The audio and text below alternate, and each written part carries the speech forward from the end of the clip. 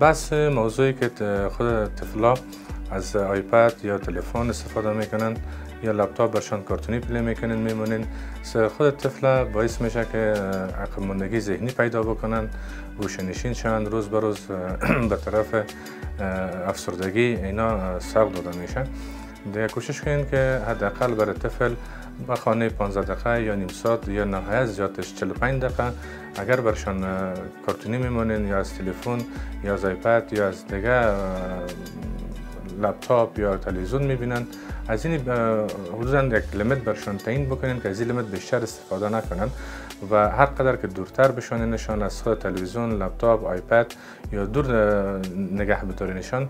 بهتر است. چون سر ذهنشان سر روانشان و تا سر خود سیستم central nerve system که اینا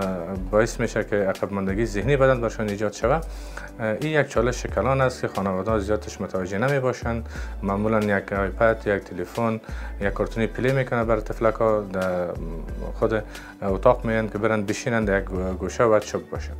دیگه اگر که می‌خواین شما یک طفل سالم داشته باشین یک طفل هوشیار داشته باشین در پالیزی از تکنولوژی اونا را دور نگه بدارین بهتری است که در هر روز حدودا 20 تا 45 دقیقه بیشتر برای یک طفل لازم نیست که اینا از آیپد از تلفن و یا از سیستم هایی که به شکل gaming یا بازی یا بازیچه می باشه استفاده کنند. کوشش شود که از بجای از این جایگزینش یا راه حل از اینا به کودکستان روانشان کنین برای بین دوستا و رفقا روانشان کنین امرایشان به پارک ببرین خود طفلتان امرایتان یک جای به بیرون ببرینشان به فضای آزاد ببرین یا که بعض ساعت تیری هایی را پیدا کنین که اونا به شکل حرکتی باشه و به شکل فیزیکی باشه.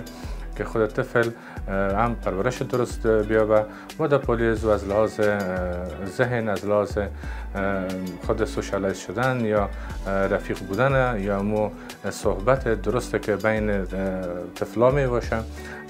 داشته باشند و امرایی که خودشان امرای طفلای بازی بکنند که هم سن و سالشان هستن از لحاظ ذهنی از لحاظ روحی از